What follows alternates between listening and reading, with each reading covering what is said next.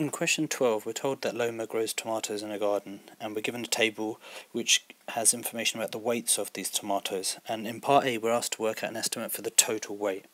Now, the way that we do that when we have a number of a frequency of something but in a range is essentially we're saying there's two which are of a weight between 0 and 10. So to work out the total weight, we can't multiply it by the 10, we can't multiply it by the 0. So what we do is we multiply it by the midpoint.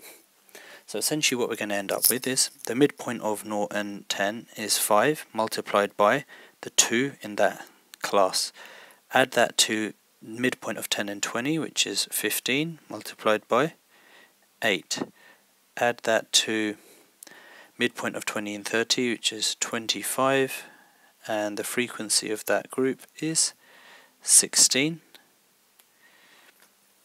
um, add that to 20 and 30 is 35 times by 10 and then finally 45 times by 4 and that gives us 10 plus 120 plus 400 plus 350 plus 180 and that gives us a total weight of 1060 grams.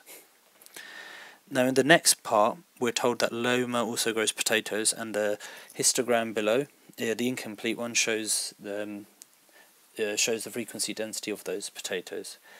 Now we're told in part B therefore, so what I will I will continue I will actually move forward from this point and whenever I have to refer back to this slide you'll just have to I guess you have to imagine what I'm doing here.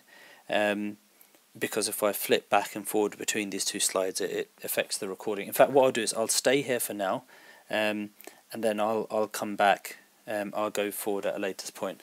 But essentially what it's saying in so in part B it tells us that there's 10 potatoes between 100 and 150. So essentially what it's saying is 100 and 150 there. So it's saying that this, that is all equivalent to 10. So if you think about the area of that, it's 5 times 10. So essentially what we're therefore saying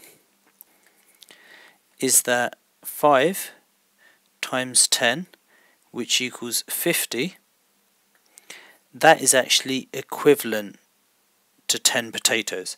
And what it's actually asking us in part B is how many potatoes had weights of less than 100 grams. So less than 100 grams is these, so that's 10 times 4. So essentially what we're saying is, is if 50 is equivalent to 10, how many would 40 be equivalent to? So 40 would be equivalent to 40 over 50 times 10 and that actually gives us an answer of 8. Now the reason I'm writing this all here and it's getting a little little bit um little bit messy is because I can't keep flicking back and forward in these slides unfortunately. You you can obviously read on to the question and then I'll come go forward when I just need to write the answer down. So essentially that's the answer to part B which is 8. Now we're told in part C that there's 12 potatoes which have a weight between 300 and 450 so it's essentially going to go to there. And we know that there's going to be 12 there. So again we have to use the same um, sort of ratios of information here. So what we know let's look at what we do know. So we know that 10 is equivalent to 50 squares. So therefore 12 will be equivalent to 12 over 10 times by 50 and that in fact gives us an answer of 60. So what that actually means is that the area has to be 60 squares. Now we know that we're going from 300 all the way to 450, so that's 15 squares. If we're going across 50, we need an area of 60 squares. Well, 15 times 4 is 60. That means it will go up like that, and it will go across like that. And because we've got 60 squares in there, we know that is representative of our our 12 um, potatoes. So now if we just keep those two things in mind, so we've done our little drawing, so that's fine, that's part C. And if it was getting a little bit